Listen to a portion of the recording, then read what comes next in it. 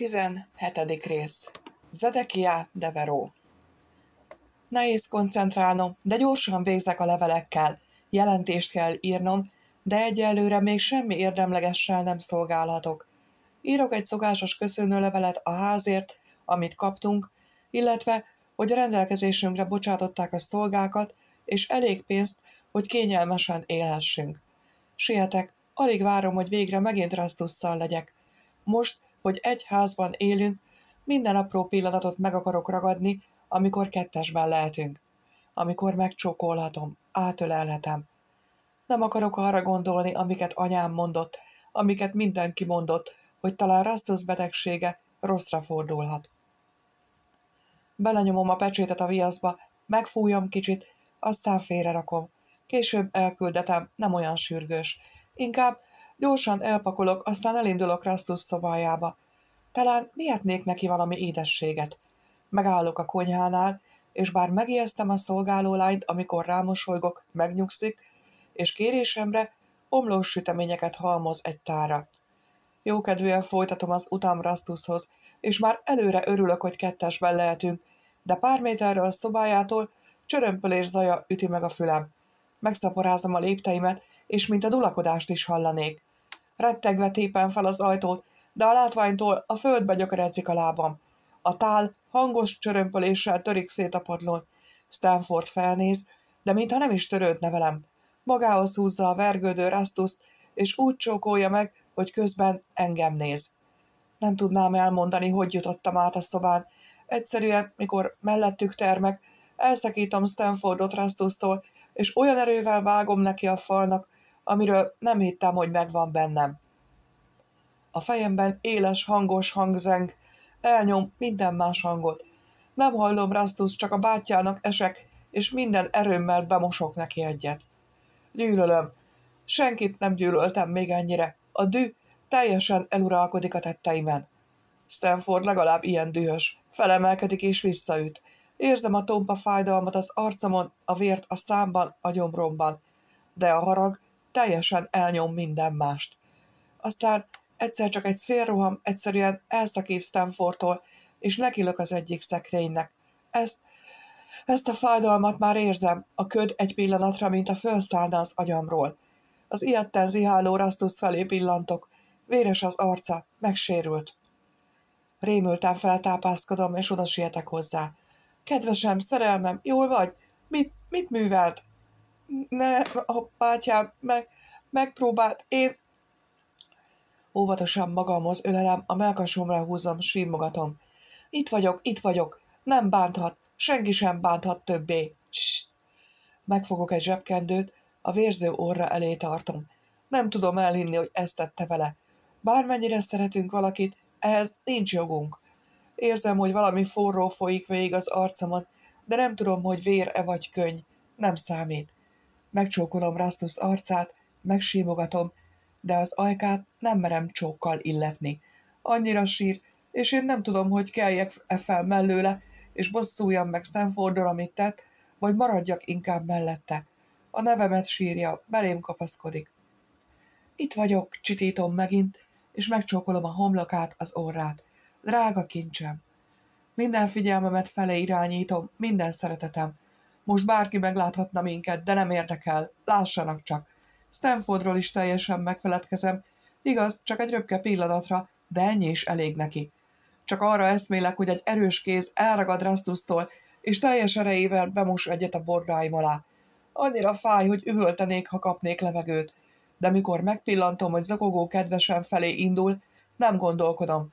Feltápászkodok, bár nem tudom honnan van erőm hozzá, elkapom Stanford karját, Megpenderítem, és minden erőmmel behúzok neki egyet, aztán még egyet.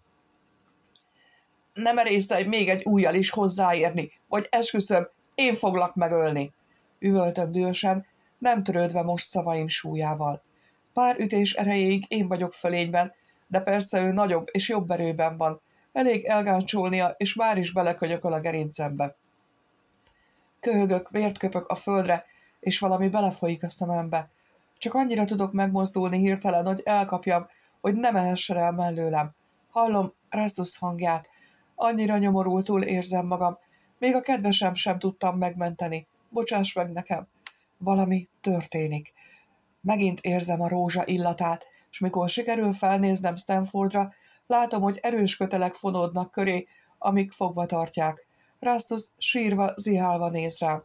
Gyorsan felkelek, és amennyire erőmből telik, oda sietek hozzá. Kezeivel átfog, nagyon-nagyon jól esik. Már nem is fáj annyira. Leragyom az ágyra, és karjaimba vonom. Nem, nagyon kell, belesémul az ölelésembe. Te ide tartozol, Rastus, hozzám, bocsáss meg, hogy a... Számra teszi a kezét. Hozzá tartozom, senki máshoz. Feleli reszketve, aztán elhúzódik, de csak, hogy végig sémítsa az arcom. Kora a korporám, suttogja, és látom a halvány fényt, érzem a kellemes illatokat. Angyal, tudom, hogy nem, de szeretem ezt hinni. A fájdalom elmúlik, már nem érzem a vér folyását az arcomon, csak kedvesen puha ujjait, ahogy megcirogatnak. Lassú, mélyebb levegővétellel próbál megnyugodni, aztán újra megsimogat. Vitessem ki? Biztosan nagyon zavar. Ki fog menni magától, mondja halkan, aztán nagy levegőt vesz, kifújja, és a fivére felé fordul. Kezét felemelve az ujját kecsesen eltartja. Liberem, ex mentem, ex corso. Megint azok a mennyei illatok. Rastus egy pillanattal később elgyengül, ezért az ölembe húzom és belecsókolok a ragyogó fürtjeibe. Stanfordra mondott valamilyen varást, de nem a gyógyítót, azt hiszem, ez valami más. Lecsuklott a feje, aztán most lassan felemeli, pislog, mint a nem tudná, hol van. Aztán észrevesz minket. Rám dühösen, Rastusra ilyetten pillant, és hirtelen rémület fogja el. Rastus, drága öcsém uram, én, én annyira sajnálom, nem akartam, én nem akartam ezt tenni, csak ittunk, itattak, aztán valahogy kicsúsztak a dolgok a kezeim közül. Kérlek szépen, Rastus, nézd rám! Kedvesem nem néz fel, ám én most nem érzem helyén valónak, hogy megszólaljak. Nagyon óvatosan simítom végig a karcsú kis hátát, amikor is megmozdul, kinyújtja a kezét, lefelé fordított tenyérrel, és széttárja az ujjait. A kötelek a szemem láttára holnak le a fivéréről. Rastus, drága öcsém uram, köszönöm, tudtam, tudtam, hogy megbocsátasz. Felkel és felénk jön, aminek láttára Rastus szorosabban ölel át és újra reszket. Ne gyere a közelembe, tűnj el, tűnj el a szemem elől! Üvölti a kis alak olyan hangon, amit nem feltételeztem volna róla. Könyörgöm, Rastus, kérlek! Megint közelebb jön, mire kedvesen még közelebb bújik hozzám, már-már azt hiszem, nem is tudna közelebb. Hiába símogatom, talán közbe kéne avatkoznom. Tűnj el, hallgass és menj, rosszul vagyok tőled. Látom, hogy Stanford megint mondana valamit, de most én fordulok felé. Stanford, ez az én házam, tarts tiszteletben, és menj el, ne kelljen még egyszer mondani. Erre már nem mond semmit, de látni a dühöt átvillanni az arcán. Dühös, de szörnyen szégyelli magát. Alványan bólint, aztán ökölbe szorított kézzel elviharzik, hangosan becsapva maga mögött az ajtót. Rástus hangtalanul sír, a melkasomhoz símulva. Cirógatom, símogatom, hát ha az kicsit megnyugtatja, de most tudom, hogy ez is kevés. Sajnálom, hogy beengedték ide a szolgáknak. Cs, nem baj, a lényeg, a fontos, hogy te idejében jöttél, és köszönöm, hogy megmentettél. Én... Megint elcsuklik a hangja. Felemelem az arcát, lecsókolom a könnyeket, a haját símogatom. Nagyon szeretlek, soha nem lett volna szabad, hogy magadra hagyjalak. Így van, reszketek, hogy majdnem erőszakot követett el rajta az az állat. Az ilyet nem lehet embernek nevezni. A saját bátyám, én, én nem is értem, hogy történhetett ez. Még egyszer megsimogatom. Ne rágd magad most ezen, elment. Gyere, megmosdunk szépen, aztán lefekszel, rendben? Halványan bólint és remegve kapaszkodik belém, ahogy felsegítem. Az asztalon van egy mosdótál, a kandalló mellett pedig egy kanna, benne langyos vízzel. Leültetem Rastuszt a székre, aztán leteszem a tálat a földre, vizet töltök bele, és elétérdelek. Így alacsonyabb vagyok nála, talán nem olyan félelmetes, ha óvatosan leveszem a ruháit, és végig simítok rajta. Iszonyatos látni az ütésnyomokat a porcelán bőrén, még az én érintésemtől is zihál, és félve, szégyenkezve húzza össze magát. Szótlanul a lehető leggyengédebben mostatom le egy nedves kendővel, aztán a papírruha helyett egy vékony hálóinget adok rá. Próbálok mosolyogni rá, és ő is mosolyt erőltet magára, de tudom, hogy mindkettőnknek nagyon nehéz. Nem várom meg, hogy felkeljen, az ölembe veszem, és úgy fektetem az ágyra. Maradj itt, maradj mellettem, bajnokom, súgja halkan, és elpirul. Bólintok, mellé fekszem, és a melkasomra húzom. Már nem remeg annyira, lassan megnyugszik.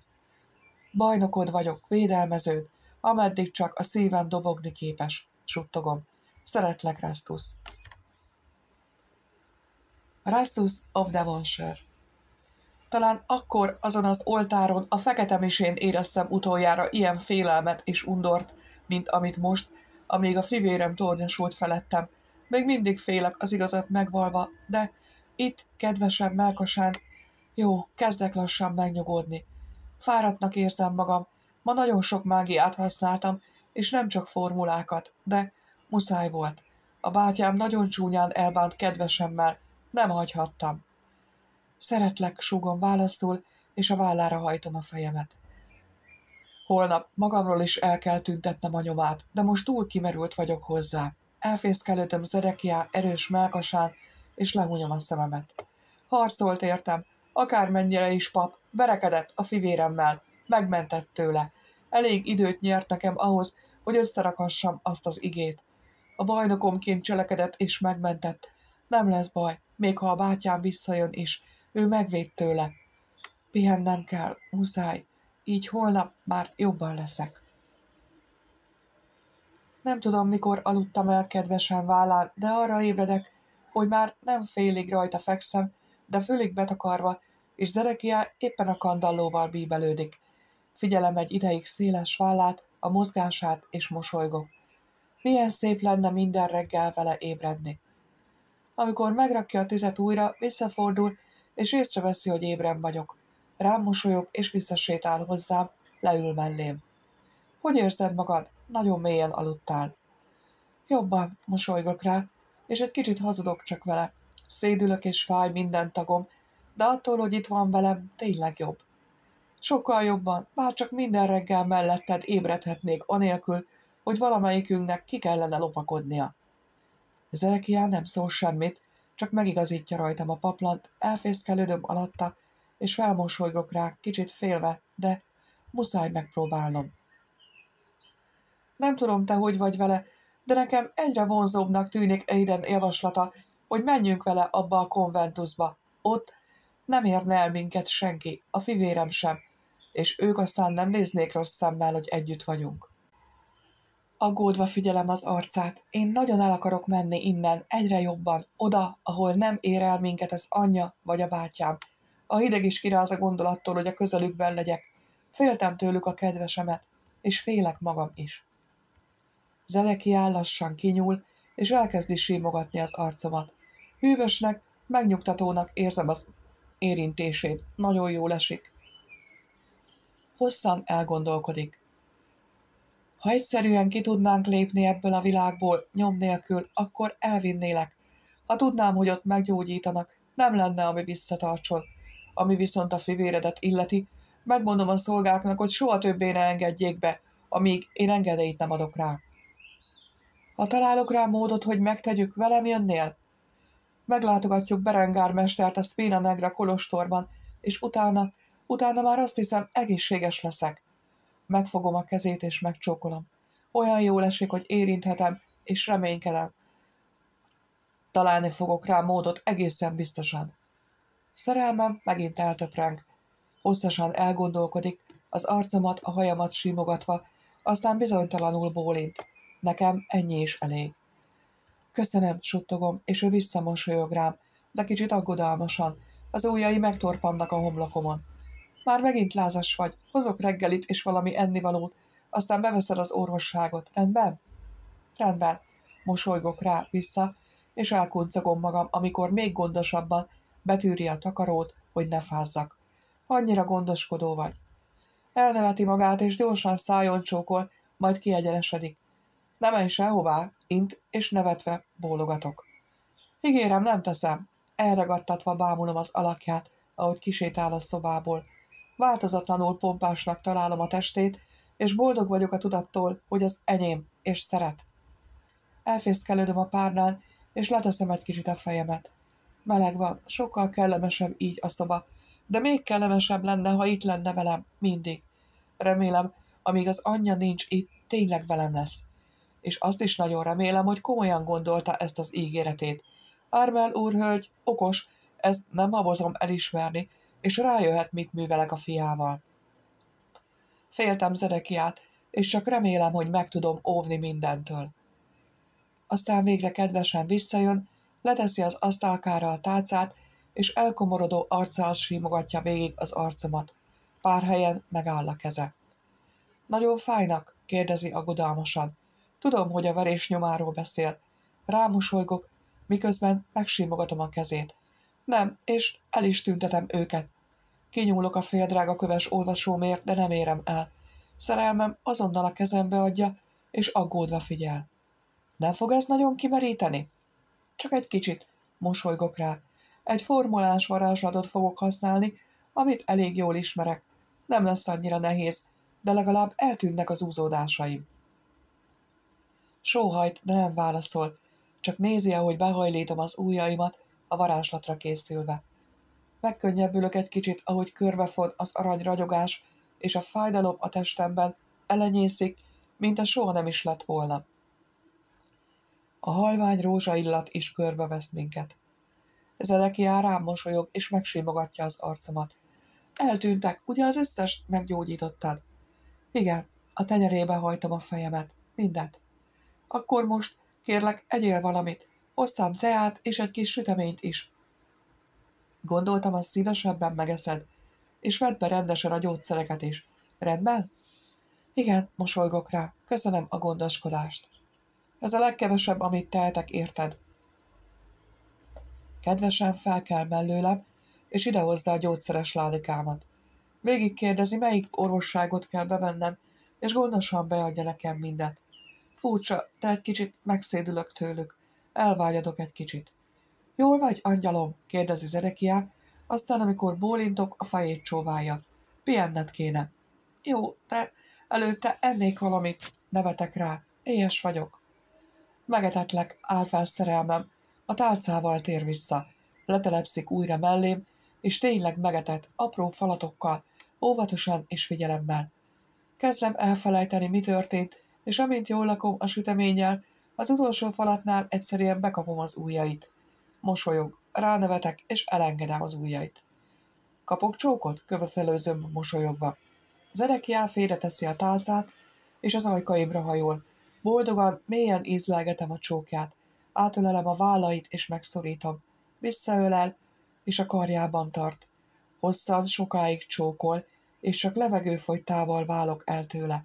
Megkönnyebbültem mosolygok rá, visszamosolyog, és megsimogatja az arcomat, kisímítja a hajamat a szememből. Pihenned kéne, suttogja. Engedelmesen biccentek. Még felültet egy kicsit, és megitat a még meleg teával. Boldogan kortyolom, aztán, mielőtt kérném, Zerekiá leteszi a kelyhet, és mellé fekszik. Közelebb húzódom hozzá, és a mellére hajtom a fejemet. Annyira boldog vagyok, hogy veled lehetek, súgom neki. Szeretlek. Zerekián Teveró Hiába alszom mostanában egyre kevesebbet, mégsem tudok most elaludni. Rásztuszt figyelem, a hajával játszarozom, a hátát cirógatom. Mélyen alszik. Nagyon fáradt lehet, aggódom érte. Javulnia kéne most, hogy itt vagyunk, de talán csak türelmetlen vagyok. Újra és újra felidézem, amit mondott arról, hogy szökjünk meg innen. Elmosolyodom, ahogy végig cirógatom az arcát, a fülét, ő pedig mocorog és motyog valamit, aztán még közelebb húzódik hozzám. Szeretem, jobban, mint bárkit valaha. Talán nem önállítás azt mondani, hogy evilági értelemben őt szeretem a legjobban. Szembeszállnék érte bárkivel, a papokkal, a világgal, anyámmal, az ördöggel, még Istennel is. Szégyellem magam ezekért a gondolatokért, és megrémít, hogy így ragaszkodom hozzá, de ez az igazság. De megszökni innen megoldás? Elmenekülni mindenki elől? Csalódást okozni mindenkinek? Az anyámnak, a mesteremnek, Istennek? Eddig még soha nem okoztam csalódást. Mindig elszenvedtem a büntetést, ha letértem az útról, és nem tudom, mit kellene tennem. Azt szeretném, ha meggyógyulna, és velem maradna, és együtt. Felsóhajtok, túl sokat gondolkodom, ez nem ilyen egyszerű, én is tudom. Talán nem ártana járnom egyet, kiszellőztetni kicsit a gondolataimat. Rastus mélyen alszik, nagyon óvatosan leemelem magamról, és az ágyra fektetem, de... Zedekia, nyöszörgi, és nagyokat pislogva belekapaszkodik a csuhámba. Hová mész? Ne menj el! Megsimogatom az arcát, és csókot lelek rá. Csak körülnézek kicsit odakint, nem maradok soká. Készítetek ebédet, rendben? Nehezen enged el, de azért bólint, és kis keze kinyílik. Siess vissza! Úgy lesz, ne aggódj! Megsimogatom a kezét, aztán a tűzhöz megyek, teszek rá egy kis fát, és megpiszkálom, hogy jobban égjen. Kellemes meleg van tőle a szobában. Aztán felkelek, és intek neki, mielőtt magára hagyom. Odakin a ház olyan, mint a egyedül lennénk benne. Elvétve látok egy-két szolgát dolgozni, de nem igazán törődnek velem. Lehajtják a fejüket. Miféle ház ez? A konyhába megyek. Itt a szakácsnő valamivel kedvesebb. Tudja, hogy ma bőjt van, ezért hús nélküli ételeket készít, és letesz nekem egy tálcára teát, és egy kis gyümölcsöt, meg édességet. Ezt vigye el a tanítványának, kérem, mondja halkan. Olyan sovány az a fiú. A kislányom is ilyen sovány volt. Kérem, imádkozzon érte az úrhoz, hát ha, hát ha önt meghallgatja. Elveszem a tálcát, és bólintok. Imádkozom minden nap, gyermekem. Köszönöm a törődésed, az úr biztosan megjutalmaz majd érte. Az asszony elmosolyodik, aztán elköszönünk, és magára hagyom. Sejtem, mi történt vele, és hálás vagyok. Ő azon kevesek közé tartozik, akin nem látszik, hogy tartana tőlem, szerencsére. Ó, meg sem kérdeztem, mikorra lesz kész az ebéd. Megfordulok, de már mindegy. Zerekiá, szólít meg egy ismerős hang, és már érzek is egy kis kezet a hátamon. Lucy, megfordulok, és meglátom drága húgocskám. Mosolyogva néz végig a tálcán, és elcsen egy édességet. Ez finom, csak nem rasztusznak viszed. Lucy, kérlek, mormolom halkan. Nem szeretném, ha meghallanának minket, de azért bólintok, és kicsit elkomorodom.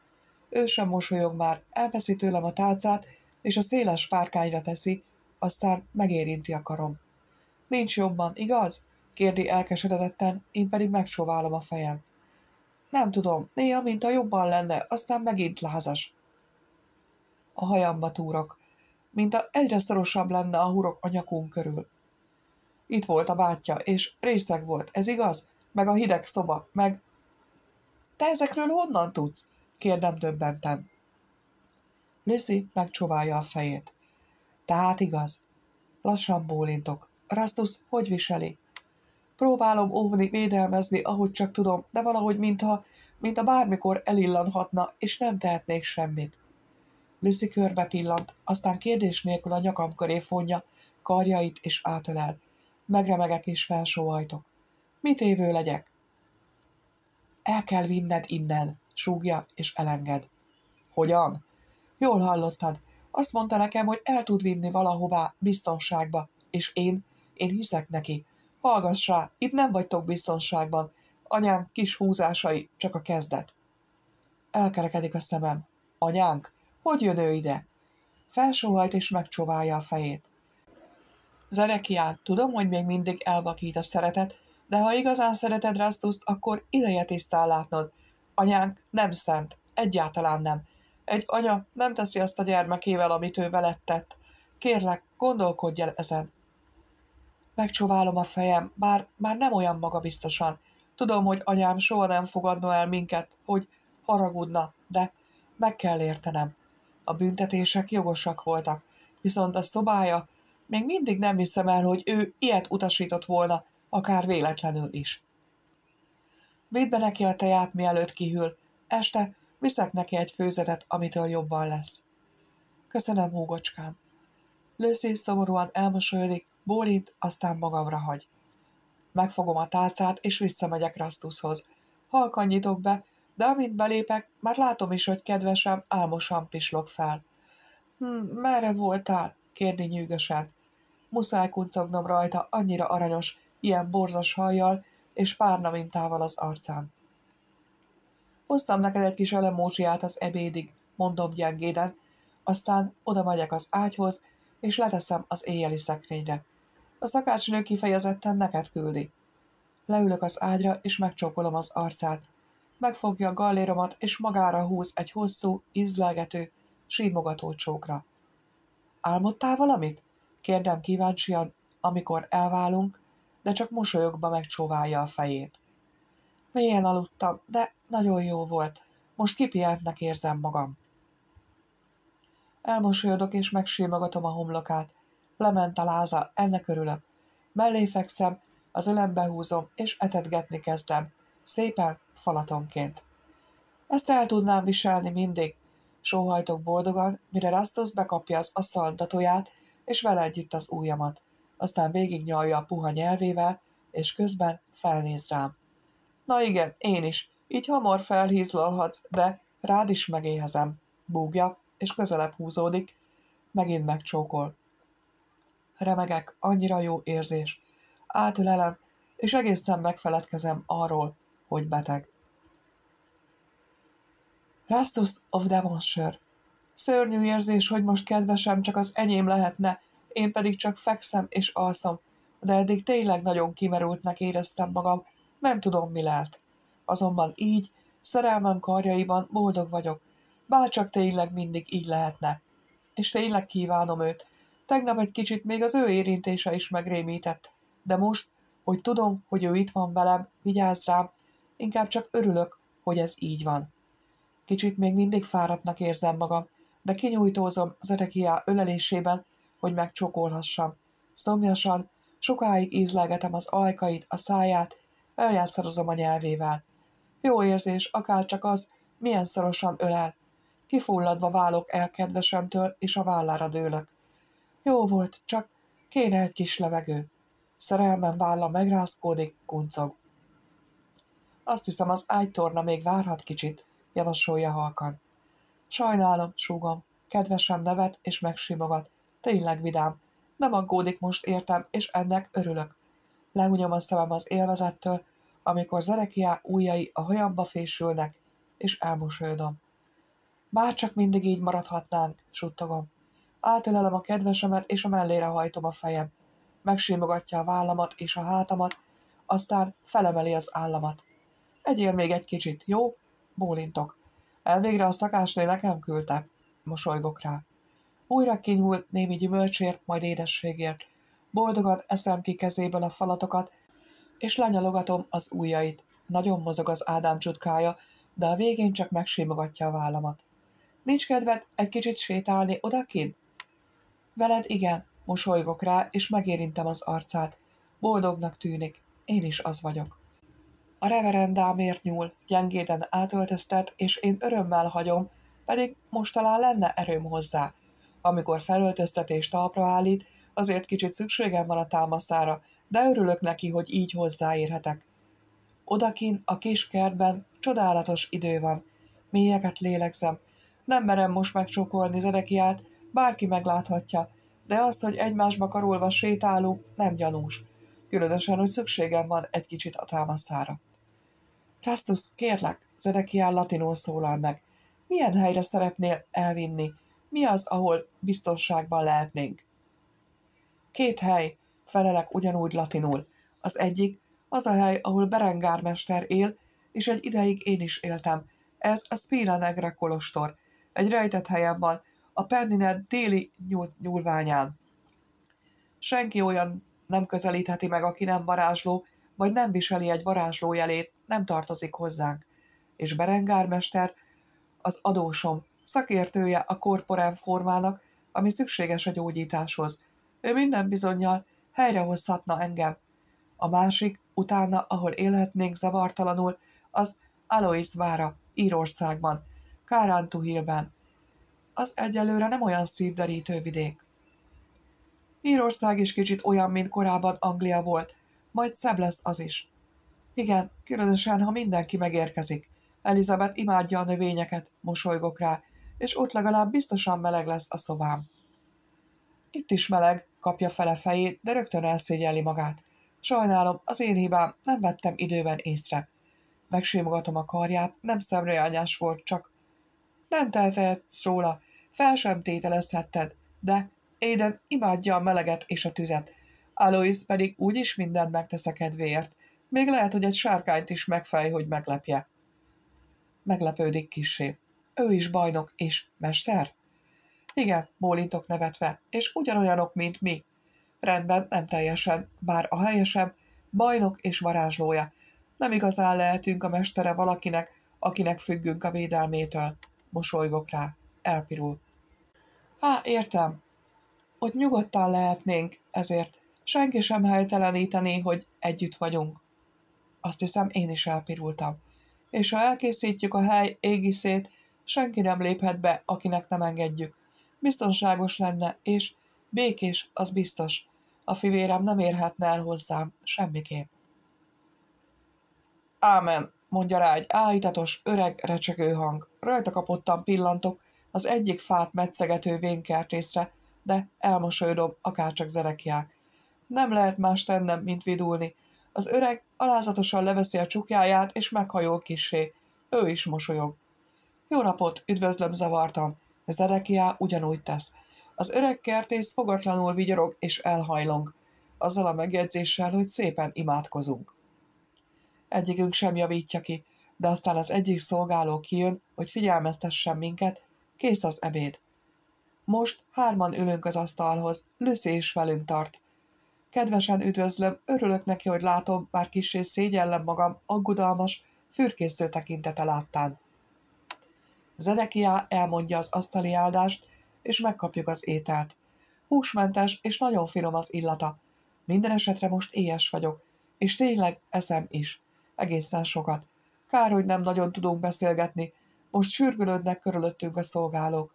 Lucy azért halkan kérdezget udvariasan. Végig atyámnak szólítva. Apróságokról, hogy tetszik-e itt, meg vagyok-e mindennel elégedve. Természetesen igenekkel felelgetek neki. Csupa udvariassági formula az egész. De akkor is örülök a figyelmének. Ő nem hidegen, érdektelenül kérdezget, figyel is a válaszra, és megnyugtat, hogy nem gyűlölettel figyel. Zedekiá Deveró Jó végre látni, hogy eszik és Lüsszivel beszélget. Néha fáj, hogy éppen itt találkoztunk. Lehetne ez az asztal egy szegény családé, egy falat sajtal vagy száraz kenyérrel, egy korty hideg kútvízzel.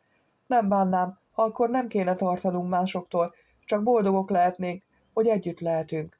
Nem kellenének szolgák, csak mi lennénk és az Úr. De nem lehet. Vennem kell az akadályokat, amiket ő elém állított. Legyen szó az eretnekekről, vagy a hitemről. Csak Rastus aggaszt. Érte elmenekülnék a világ elől, megszöknék Isten elől is, ha kell. Ha ez kell ahhoz, hogy boldogok lessünk. Látni szeretném a fák köz sétálni a kertben, ahogy a napsugarak símogatják a bőrét, egészségesen, boldogan, félelmek nélkül. Ebéd után Lucy kedvesen elköszön, de rám kacsint. Este még elhozza a főzetet, amit ígért. Rastus elpirul húgocskám szakatlanul közvetlen viselkedése miatt, aztán felnéz rám. Azt hiszem, ideje, hogy folytassuk a tanulást, súgom halkan. Ahogy elpirul, nagyot nyelek. Szeretném megcsókolni, felültetni erre az asztalra, és addig csókolni, amíg nem kap levegőt. A combjai közé símulni, érinteni, csókolni éjesen, gyengéden, vadul, sokáig. Megborzongok, és inkább elvonom a tekintetem. Úgy érzem, kifordulok önmagamból. Menjünk! Nyújtom Rastus felé a karom, hogy felsegítsem, és elindulunk vissza a szobája felé. Nem beszélünk, de nekem a gondolataim peregnek, és szégyellem magam értük, de nem tudok nekik megállt parancsolni. Bűnt akarok elkövetni vele. Bűn. Kívánom, szeretem, szeretni akarom. Itt, ebben a házban is, vagy bárhol. Excellenciás uram, zökkent ki a gondolataimból egy halk, tisztelen tudó hang. Rastus is összerezzen, érzem a karján. Megfordulunk. Egy fiatal fiú áll pár lépésre tőlünk. Három tekercs van a kezében. Bocsásson meg, excellenciás uram, de érkezett egy futár, és ezeket a leveleket önnek hozta. Az érsek úrtól jöttek. Trastusra pillantok, ő bólint, ezért finoman elengedem a karját, és átveszem a leveleket. Köszönöm, holnap válaszolok rájuk. Nagy tiszteletű érsek úr, bocsásson meg pimosságomért, de a futárral azonnali választ várnak, ha esetleg lehetséges. Ó, értem, természetesen. Egy bocsánatkérő pillantást üldök kedvesen felé. Rastus elnézően bólint, és folytatja útját a szobája felé, én pedig követem a fiút a dolgozószobába, aki utána magamra hagy. Szokatlan, de hiába ritkán vagyok itt, mégis a szobában kellemes meleg van, és meglepő tisztaság. Felnyitom a leveleket, és elolvasom, mi áll bennük. Furcsa. Az egyikben még a köszönetét fejezi ki az érsek, hogy részt vettünk az ebéden, hogy várnak minket máskor is, és külön kiemeli, hogy milyen okos, tehetséges tanítványom van. A következőben megemlíti, hogy mesterem már érdeklődik a hogylétemről, munkáimról, és jelzi, hogy a közeljövőben meglátogat. Ez kicsit bánt. Miért nem nekem ír? Miért nem tőlem érdeklődik? Megint elszégyellem magam. Talán tudja, hogy eltéve jöttem? Honnan tudná, hisz inkább félrerakom a levelet. A harmadikban pedig rossz indulatú plegykáktól óv, hogy legyek óvatosabb, nem említi még azok, ez a legrövidebb üzenet, és épp emiatt a legaggasztóbb. Ha velem valami történik... Rastus. Megborzongok. Nem, nem szabad ilyesmire gondolnom. Inkább leülök, és gyorsan választ fogalmazok, mind három levélre. Rá szeretnék kérdezni az utolsóra, de végül nem merek. Bíznom kell abban, hogy a plegykák csupán rossz indulatú híresztelések az eretnekek, hitetlenek részéről, és Isten meg a hit győzedelmeskedni fog. Hosszan tart a levélírás, gyorsan telik az idő, szeretnék már Rastusszal lenni. Minden eltelt perc elvesztegetetnek érződik. Mikor végre befejezem, megkönnyebbülten nyomom rá a pecsétet, és átadom a futárnak, aki egy tőlem alig fiatalabb kispap. Tisztelettudóan megköszöni, és már indul is vissza az érsekségre, én pedig végre visszameltek Rastushoz. Már kintről hallom, hogy olvas Jézus tanításaiból. Boldoggá tesz. Féltem attól, hogy ami köztünk van, eltávolítja Istentől, de ezek szerint nem így van. Bekopogok és belépek a kis szobába. Rastus az ágyon fekszik, és felragyog az arca, amikor meglát. Félreteszi a könyvet, felkel és hozzám siet. Nem kérdez, csak mosolyog, kacéran, gyönyörűen. Elkapom a derekát és megcsókolom, és, és azt teszem, amire annyira vágytam. Felkapom csak így csók közben, el sem ereztem, és felültetem az asztalra. Végig simítom az oldalát, a derekát, a csípőjét, a combjait. Imádom. Kedvesem kacag, amikor elengedem.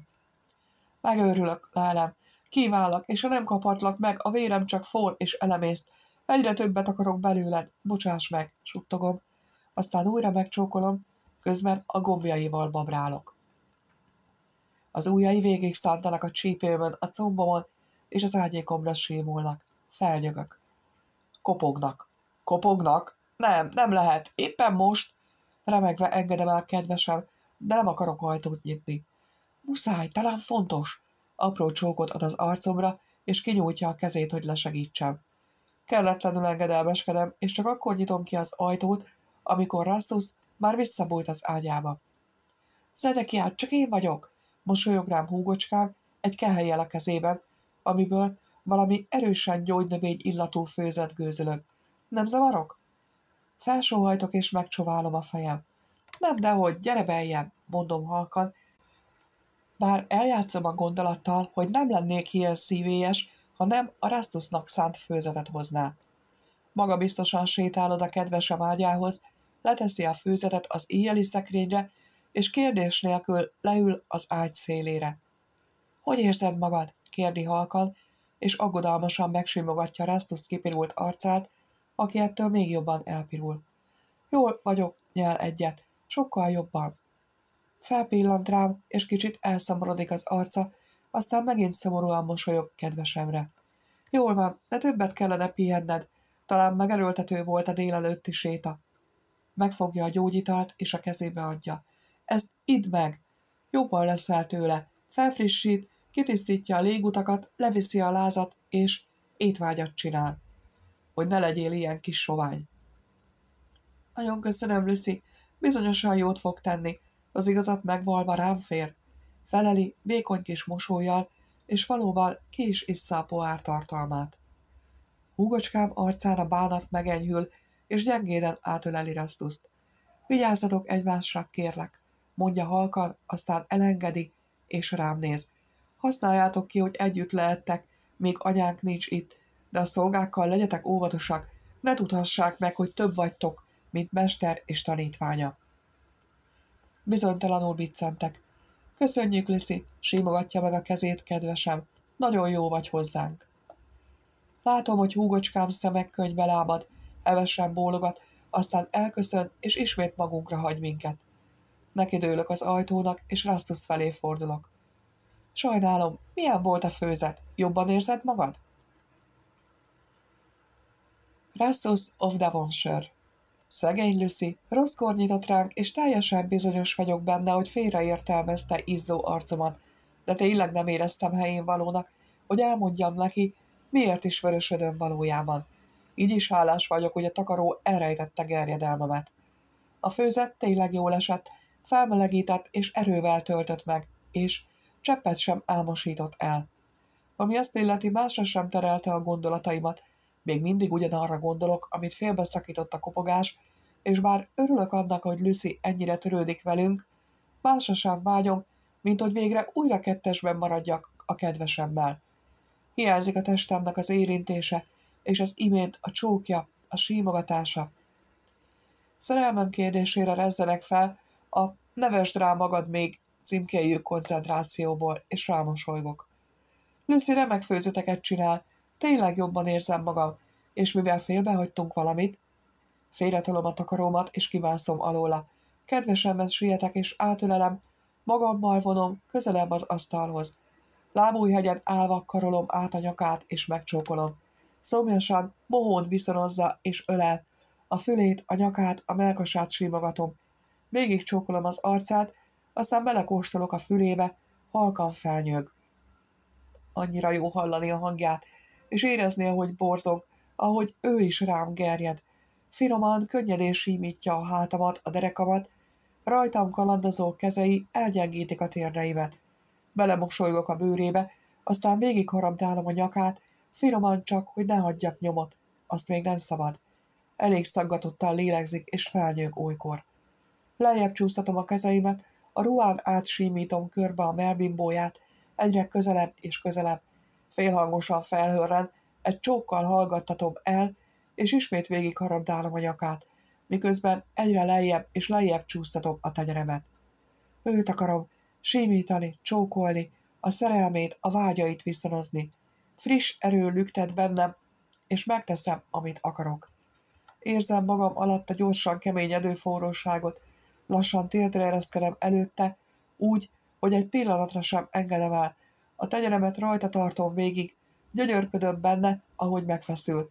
Símogatom egy kicsit, aztán előrehajolok, és a ruhán át megcsókolom, a leheletemmel melengetem, duzzadó, merev férfiasságát. A lélegzete egyre nehezebb. Az egyik kezemmel elkezdem feljebb húzni a reverendáját, fel a derekára, feltárva gyönyörű izmos combjait, és Várj, nyögi Zerekiá, amikor megsímogatom mered számát. Kapkódva remegő kézzel kezdi el kigombolni a reverendáját. Felkelek és segítek neki. Végig megoldom a gombokat. Újra a nyakát csókolom, aztán egyre lejjebb. Hirtelen elönt a vágy, hogy megjelöljem, nyomot hagyjak rajta, hogy az enyém. Felsóhajt igencsak reszelősen, ahogy kicsit megharapom az egyik melbimbóját, míg az ujjaim a másikkal babrálnak aztán kicsit felbátorodva, ott hagyom a szíve felett a fogai nyomát izmos melkasán. Zedekián nevet. Billog? kérdezi csendesen. Izzó arccal bólogatok, kicsit még kiszívva az apró sebet, aztán lassan, folyamatos csókokkal borítva a hasát, a lágyékát, térre ereszkedem. Végig simítom újra a combjait, aztán két tenyerembe veszem, és dédelgetni kezdem férfiasságát. Felmosolygok rá, bár nem tudom, látja-e. Kisé zavarodottnak tűnik. Nem baj, érezni fogja. Ebben bizonyos vagyok. Az ágyékára hajolok, Először csak az ajkaimmal simítom végig keménységét, és a nyelvemmel. Már ekkor is nagyon hangosan nyög, és kicsit hörög is. Hallani akarom, ahogy felnyög örömében, és látni az arcát, ahogy elélvez. Tényleg olyan, mintha a mennyben járna. Ismét felpillantok rá, aztán két kézzel tartva férfiasságát óvatosan a számba veszem a hegyét. A nyelvemmel körözök rajta kicsit, aztán egyre mélyebbre engedem, ismét vissza. Amikor kicsit mélyebben veszem vissza, egyre erőteljesebben rándul meg a kezeim között, az ujjai a hajamba túrnak, olykor görcsösen. Jó játék, aztán még egyszer, miközben az ujjaimmal a szerszámat övét símítom, és ne, nyögi ki halkan, és én engedelmeskedem az ujjainak. Lassan kiengedem az ajkaim közül, és felmosolygok rá. Kedvesem a hajamat símogatva viszonozza a mosolyomat, aztán talpra emel, mohón babrál a gombjaimon, és én épp olyan remegő kézzel próbálok segíteni neki. Levetkőztet kapkodva, miközben minden újabb részt, amit felfed a bőrömből, csókokkal borít. Csodálatos érzés, és lehetetlen lenne titkolni a vágyamat. Zedekia az asztalra teszi a reverendámat, aztán felemel, és felültet az asztalra, ahogy azelőtt, ahogy Lucy rám nyitott volna. Mohón csókolom meg átölelve a nyakát, és érzem hozzám símolni forró testét. Magamhoz húzom, az ágyékunk összeér, és kedvesem felnyög. Aztán megtámad újra az ajkaival, vadul csókol, mohon szomjasan, hogy levegőt is alig kapok. A kezei egyre lejjebb símogatnak, egyik pillanatban itt, a másikban ott. Aztán kezd ő maga is alacsonyabbra ereszkedni a csókjaival. Lélegzetét kapkodok, annyira izgató. Hosszasan köröz, a, hol a melbimbóimmal játszik, nyelvével masszírozza, kicsit finoman beleharapva, hol egyre lejjebb csókol a köldökömhöz, le a combjaimon. Szívja harapja a combjaim belső oldalát, és az egyiken kicsi piros foltot is hagy. Elkuncogom magam. Billog? Természetesen, súgja a bőrömbe kedvesem, újra végig csókolja a combomat, aztán végre megérinti lüktető oszlopomat. Finom mozdulatokkal símogatja, aztán végig csókolja a szerszámomat.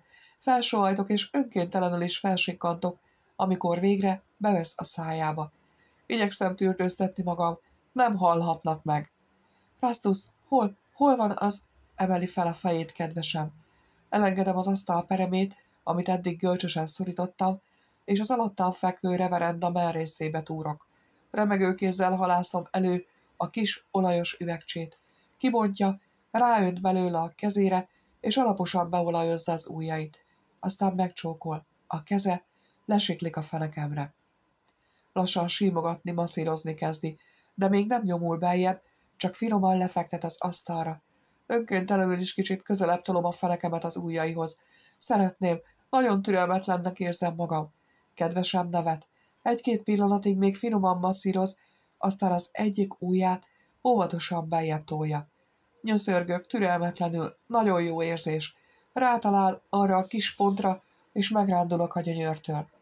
Zedekiá lassan, türelmesen tágít ki, közben rám hajol, a mellemet, a nyakamat, a vállamat, az ajkaimat csókolja. Remegek a vágytól, akarom őt magamban.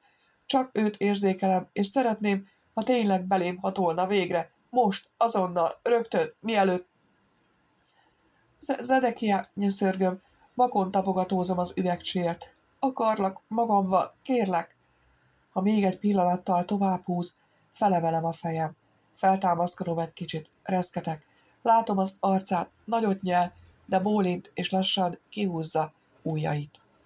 Nem kell kétszer kérned, suttogja, és megnyalja ajkait. Elhelyezkedik a combjaim között. Megvan az olaj. Nyitva van, a tenyeremre öntök a tartalmából. Aztán valamelyest felülök, és lassan, finoman elkezdem beolajozni a férfiasságát. Büszkesége csak még keményebbé, forróbbá válik az érintésemtől.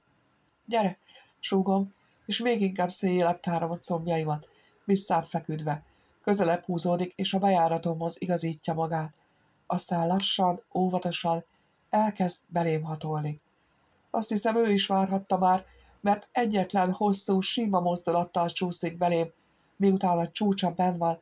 Az asztal peremébe kapaszkodom, és a combjaimmal a derekát szorítom. levegőért kapkodok.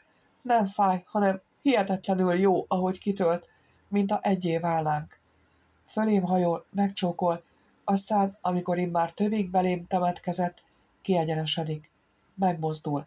Felnyögök a kétől, és kissé lazábra engedem a szorításomat a derekán, bár a bukáimat összekúcsolom a hátán. Ismét felsóhajtok gyönyörömben, ahogy egyre mélyebben merítkezik meg bennem. Csodálatos, mint a lelkem legmélyéig hatolna. Finoman símogatni kezdi a férfiasságomat, a derekamat. Sóhajtozom a kétől, ahogy újra és újra belém nyomul, minden egyes mozdulatával végig söpör rajtam a gyönyör. Sokáig, nagyon sokáig tart ez az öröm, és úgy érzem, mint a teljesen egyé váltam volna vele. Kábán, zsibadó tenyérrel szorítom az asztalt, a combjaim a derekára tapadnak, mint a összeolvadnánk. Felsikkantok, amikor végül megrándul bennem, és érzem a belém lövellő forró magot. A tenyere összeszorul a férfiasságomon, és ez az apróság elég ahhoz, hogy én is elélvezzek. Rám borul, zihálva, és együtt kapkodunk levegőért. Bennem van még mindig, és én kábán, verítékesen és boldogan élvezem az együttlétünket. Szeretem, csak is egyedül őt, csak az ő érintését, az ő csókjait, az ő oszlopát magamban, és bármeddig képes vagyok elmenni, hogy megtarthassam.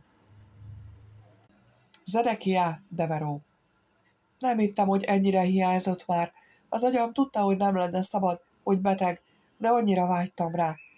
Erre az érzésre, hogy a forró teste körén feszül, hogy a combjait körén fonja.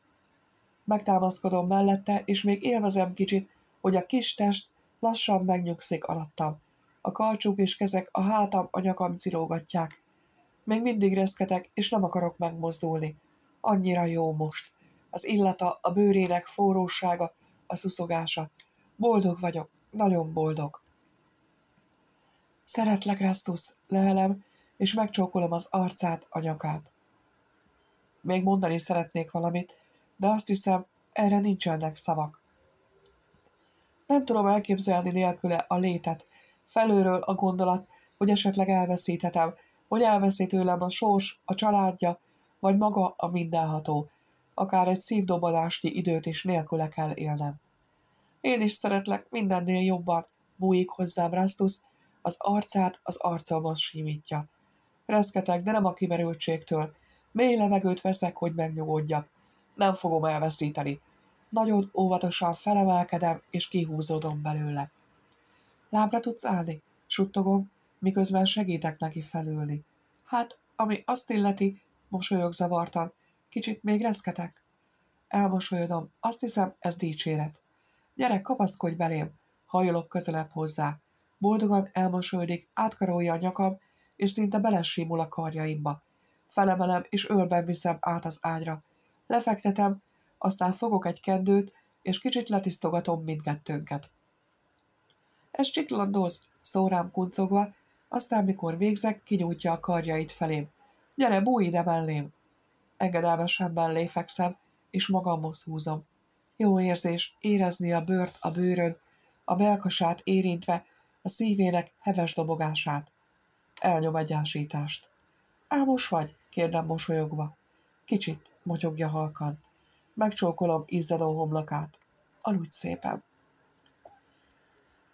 Elég sokáig alszunk. Azt hiszem, Lucy főzete ugyan felélénkítette Rastuszt, de túl beteg, hogy ne fáradjon el, és mentségére legyen mondva, én sem kíméltem. Vacsoratájban csókokkal ébreszgetem, és ugyan nincs kedvem kimászni az ágyból, ahogy Rastusnak sem, de illik megjelennünk. Lassan lemosdatjuk egymást, aztán segítünk a másiknak felöltözni. A folyosókon alig találkozunk valakivel. Egy szolgáló megáll, és illendően köszön, aztán tovább megy. Furcsa nekem ez a ház, szokatlan, de talán csak mert anyám nincs itthon. A személyes szolgálóit magával vitte, ezek az emberek meg úgy tűnik, csak teszik a dolgukat, nem akadékoskodnak ott, ahol nincs szükség rájuk. A vacsoránál Lucy kedvesen mosolyog Rastusra, és úgy látom, nagyon elégedett, hogy kedvesem jobb színben van. Való igaz. Az arca egészségesebb, az ajkai mosolyognak, és a szokásosnál nagyobb az étvágya, aminek külön örülök. Mikor befejezzük, a kápolnába megyünk imádkozni. Jó most ez is, egy kicsit elcsendesedni. Tétovázom, de aztán megköszönöm az úrnak, hogy Rastusszal lehetek. Ha ellenezni, azt hiszem, nem lehetnénk most itt. Közben Lucy bejön, és kihív egy kicsit. Arra figyelmeztet, hogy elővigyázatosabbnak kell lennem, a Rastusszal szeretnék maradni.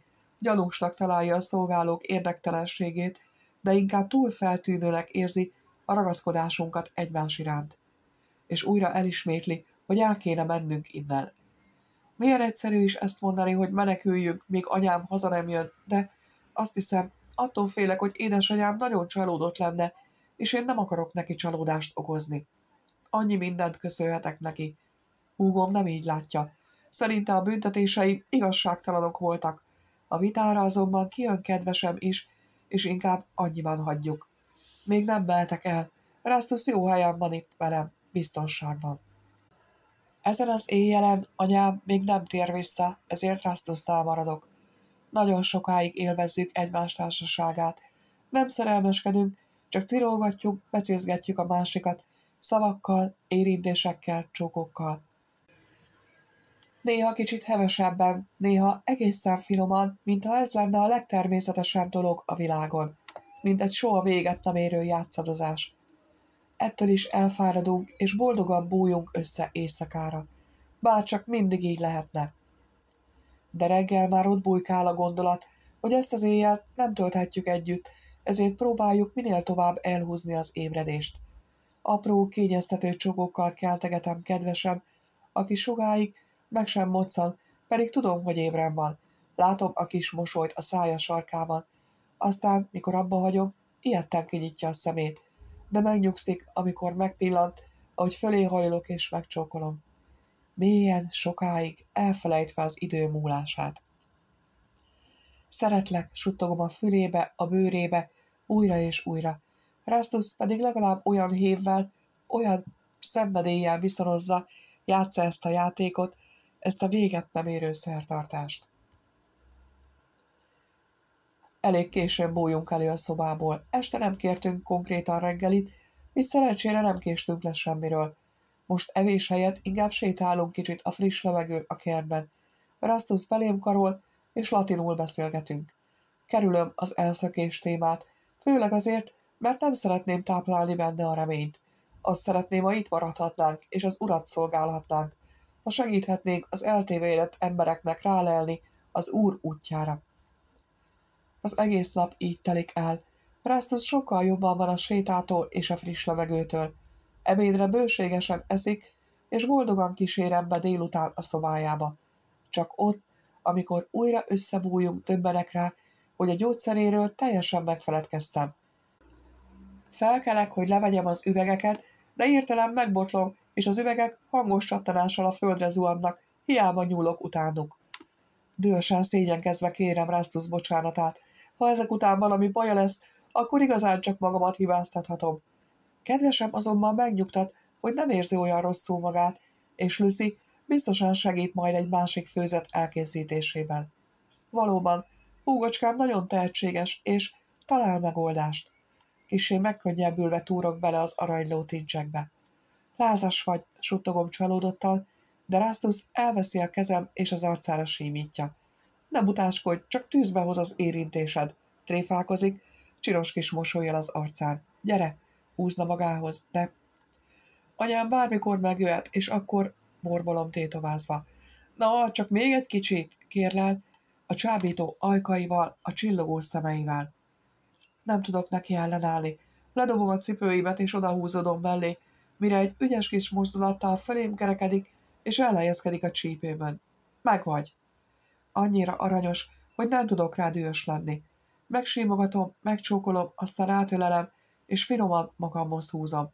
Érzem, hogy lázas, hogy a teste mennyire forró, mégis megborzong néha, és csak reménykedek, hogy pusztán az érintésem van rá ilyen hatással. Szeretlek, kívánlak, angyalom, ismétlem el újra és újra a szavakat, miközben ismét belemerülünk megunhatatlan játszarozásunkba. Ilyenkor megfeledkezünk mindenről, mint a nem létezne semmi más, csak szerelmem és a puha ágy alattunk. ám egy pillanatra valamiért kellemetlen hideg fut végig a hátamon. Érzem, megremegek, az ajtó felé fordulok. Megmozdult volna? Nem, biztosan csak képzelődöm. Mi a baj?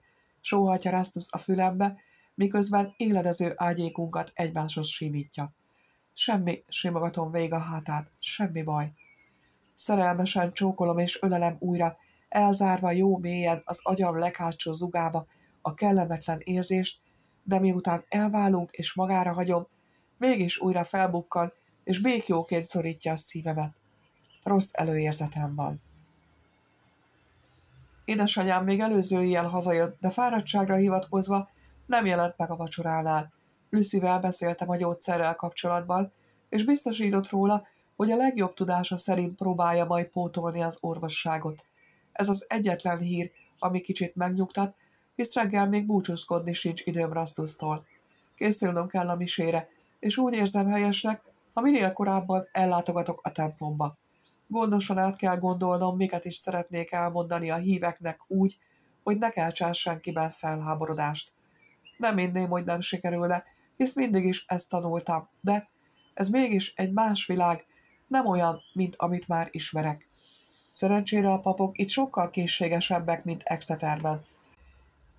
Ugyan úgy érzem, nem veszik eléggé komolyan a hivatásukat, de nem is próbálják bizonyítani, mennyire számít a kor, és hogy én mennyire nem érdemlem meg a rangomat. A hívek pedig egyszerűen csodálatosak. A templom már a mise kezdete előtt zsúfolásig megtelik, és rengetegen kínrekednek az ajtókon kívül. Édesanyám és kedvesem is hamarosan megjelenik. Rastus a papok közt kap helyet, közel hozzám. Rózsás orcával mosolyog, és szinte érzem, hogy védelmező szeretete körülölel. Nem lesz semmi gond, csak, csak azt a jeges szorítást ne érezném. Most is ezen a szent helyen. Rossz dolog közeleg. Így lépek fel a pulpitusra, hogy szóljak Canterbury híveihez. Mind eljöttek, hogy hallják a szavam, nem okozhatok nekik csalódást. Rastus of Devonshire Nem érzem jól magam. Rosszul vagyok a varázslatok ellenére, és ez megrémít. A templom hűvösében kifejezetten fázom. Próbálok erőt venni magamon, de akkor is. Valami nagyobb baj van, mint hittem. Akármennyire is kimerültem eddig, nem éreztem magam ilyen rosszul ennyire hamar, egy olyan erős varázslat után, mint amivel most gyógyítottam magam. Szörnyű gyanúm van, és attól tartok, hogy igaz. Ármel úrhölgy reggel indulásnál rám tekintett, és a gyűlölete. El kell vinne minden zedekiát minél előbb, még ha nem is akarja. Amilyen gyűlöletet látok az anyja szemében, valahányszor rám néz, a dühöt Balázszor a fiára pillant, azt hiszem rájött, és még ha nem is, most már elég nyilvánvalónak érződik, hogy meg akar ölni. Különösen érezve, hogy nem lettem rosszabbul, mióta nem vettem be a gyógyszereimet. Ha hazaértünk, muszáj lesz megvizsgálnom magam egy könnyed igével. Úgy hiszem, Ármel úrhölgy megmérgezett. Sajnos tökéletesen el tudom képzelni róla. Ki kell bírnom valahogy a misét, anélkül, hogy összeesnék. Valamivel könnyebb úgy, hogy kedvesemet hallhatom, izzó szavaiban, tökéletes mondataiban, gesztusaiban gyönyörködhetem. Őt használom kapaszkodónak, hogy ne roskadjak a földre. Még ha nem is érem el, a pillantása támogat. Próbálom viszonozni, és csak remélem, hogy érzi maga körül a szeretetemet. A misének csak hamar vége lesz. Félrehúzódom a hívek és papok útjából, amíg le nem vonul a tömeg. Egy kicsit így legalább a falhoz támaszkodhatom, hideg és még jobban megremegtet, de legalább támaszt nyújt. Rastus! Apám hangjára riadok fel, mosolyogva fordulok feléje, és átölelem, megcsókolja a homlokomat, aztán elkomorodik. Forró vagy, fiam, minden rendben? Betegnek tűz.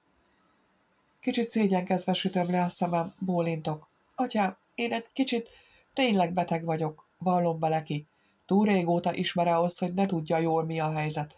Sikerült eltörnöm az orvosságos üvegcseimet. Megkéretlek majd arra, hogy kevertest ki újra?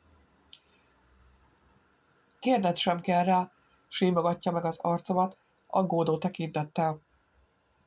Elég meleg a szobád? És pihensz eleget? Tudom, hogy tanulnod kell az érsek mellett, de úgy hallottam, ezt megteszed. Nem viszed túlzásba? Nem hinném, apám. Muszáj mosolyognom. Nem kell találgatnom. hogy tudja, ki mondott neki ilyesmit. Nyilván kifaggatta a szeretőjét. Ha ma itt van, az azt jelenti, hogy tényleg a városban volt a hétvégén, és tényleg hozzá ment Arvel úrhölgy. A szobám pedig most már elég meleg. Most már? Figyel fel rá, bólintok. Eleinte nem volt az. Későcsém, rémülten fordulok bátyám felé, és elrándulok az érintése elől. Ismét ijegység szorítja össze a torkomat, ahogy a közelemben tudom. Apám csodálkozva mered rám. Stanford összeszorítja a száját, és szégyenkezve lehajtja a fejét. Hátrébb lép. Meghajol kicsit, úgy köszönt, és meg sem próbál közelebb jönni. De így is önkéntelenül is közelebb húzódom atyámhoz. Hiszen reszkedsz, súgja az apám, félretaszítja a bátyámat, és az egyik padhoz von. Ülj le egy kicsit, és fiam, ha gondolod, amíg a városban vagyok, a vén tölgyben szálltam meg. Egy egész szintet lefoglaltam, és ha odajössz, akkor még tudsz tanulni a mestereddel, de magam gondoskodom róla, hogy biztosan ne fázhass. Mi történt közötted és Stanford között? Szerencsére nem kell válaszolnom. Zedekiá, Ármel úrhölgy és Löszi érkezése kivon alóla. Udvariaskodunk még egy sort, aztán kedvesemmel és családjával együtt távozom. Nem mondtam meg ugyan atyámnak, hogy elmegyek-e hozzá, de lehet szükséges lesz. Csak a házba visszaérkezve van alkalmam odasúgni szerelmemnek, hogy majd később jöjjön a szobámba. Nem tartok velük az ebédhez, inkább csak imádkozom egy sort a kápolnában. Védelmet és segítséget kérek az úrtól, hogy segítsen rávenni kedvesemet a szökésre, és hogy sikerüljön eljutatni Aidennek az üzenetemet. Arra kérem az urat, hogy óvja kedvesemet anyja haragjától is, aztán visszatérek a szobámba. Fel kell kutatnom a ládámat, hogy megtaláljam az apró, játékszernyi szobrocskát, az ametisztből kifaragott pici angyalfigurát, a saját szigillumommal együtt veszem kézbe. Szükségem van a fókuszokra ahhoz, hogy észrevétlenül igészhessek. A legapróbb nyoma sem maradjon annak, mit művelek. Leülök az ágyra, kinyitva az ölembe veszem a Bibliát, és lehúgyom a szemem. Kicsi ige, és sajnos tökéletesen beigazolja a félelmeimet. Megmérgeztek, és már sejtem mivel. A gyógyszeremben lehetett. Az egyik nap Ármel úrhölgy is itt volt a szobámban, bizonyára akkor cserélhette ki, közvetlenül mielőtt elment. Meg lehet, ha az egyik nap nem gyógyítom meg magam, már halott lennék. Csak remélni tudom, hogy a fiát nem bántaná így, ennyire, hogy még nem bántotta. Arra riadok, hogy az ajtó nyílik és csukódik. Felállok, amikor meglátom Ármel úrhölgyet, és fejet hajtok előtte. Nagyon dühös az arca. Bosásson meg asszonyom, hogy nem jelentem meg az ebédnél. Kezdek mentegetőzni, de félbeszakít, remegve a haragtól. Szégyentelen sátánfajzat, démon, elcsábítottad a fiamat, te pokolfattyú, sátáni vadéka. Elégsz a gyehenna tüzében, szentségtelen tettedért. Már régen beszélt kellett volna, még mielőtt megtehetted, amit a fiammal műveltél, te inkubusz. Művelt hölgy, első rémületem után valahogy megnyugszom. Haragtól izzó tekintetét figyelve. Tudom, hogy meg fog történni, hogy rájön, de van ellene pajzsom és fegyverem. Megtámaszkodok egy kicsit az asztalon, hogy ne zuhanjak el, amíg nem közlöm vele, amit akarok. Kemény szavak egy szajha szájából, mondom olyan kedvesen, mosolyogva és könnyedén, amennyire csak tudom. Még ha az apám szajhája is, akkor sincs joga velem így beszélni, asszonyom. Vagy szólítsam Rimának, mit megérdemelni? Olyas valaki nevez engem szégyentelennek, aki fényes nappal a palota kertjében bujálkodik atyámmal. Azt hiszem, hölgyem, mindketten bűnösek vagyunk, de ön súlyosabban védkezett. És ha már ön felrója nekem azt, hogy szeretem az ön fiát, akkor hadd beszéljek erről önnel. Elsápad, elhallgatott végre. Mosolyogva folytatom, halkan, bár üvölteni lenne kedvem. Ön, asszonyom, sokszoros halára érdemes már most, pedig két tervesem sikerült, de figyelmeztetem, ha még egy újjal hozzányúl a fiához, ha árt neki azzal, hogy azt, amit megtudott, elárulja bárkinek, ezek a halálok, asszonyom, önre zúdulnak. Vádbeszéd ez, és jól esik, hogy kimondhatom. Erőt ad, hogy megteszem, és bármennyire bűn is, élvezem, hogy elsápad. Elsőként halállal büntethető a házasságtörő asszony, bár elítélem atyámat, hogy ezt tette, de a törvény, asszonyom, önre sújt le teljes szigorával, és még a férje megbocsát is önnek, akkor is csak a pallost kerüli el, a szényeroszlopot, a hajvágást és a tolkoszorút nem. De ez még a legenyhébb vétke. Még az sem olyan súlyos, hogy engem próbált megölni. Még az sem, hogy mérget kevert a gyógyszereimbe. Honnan tudod, sátánfatja? súgja remegve az asszony. Rámosolygok. Hölgyem, észreveszem, ha ok nélkül vagyok rosszabbul. Bár azt hiszem, nem ittam belőle annyit, hogy halálos legyen. Tudja, az a fajta méreg, amit ő használt, minden ametisztke hely nélkül látható, ha az üveget fényre tesszük. A folyadék megzavarosodik. De a mérget még megbocsátom önnek, akár csak a hideget. Elvégre engem bántott. Ön csak azt akarta, hogy ne kössem le a fiát, és ezt, ha nem lenne a harmadik, legsúlyosabb bűne, még értékelném is, és magam innám meg újra a mérgét. De ön, asszonyom, ezt nem szeretetből tette. Elvégre, ha szeretné a fiát, nem büntetné meg olyan keményen, nem botozná, éjeztetné, korbácsolná, kínozná, és ez a harmadik bűn olyan súlyos, hogy nem bocsátanám meg. És nem csak én nem.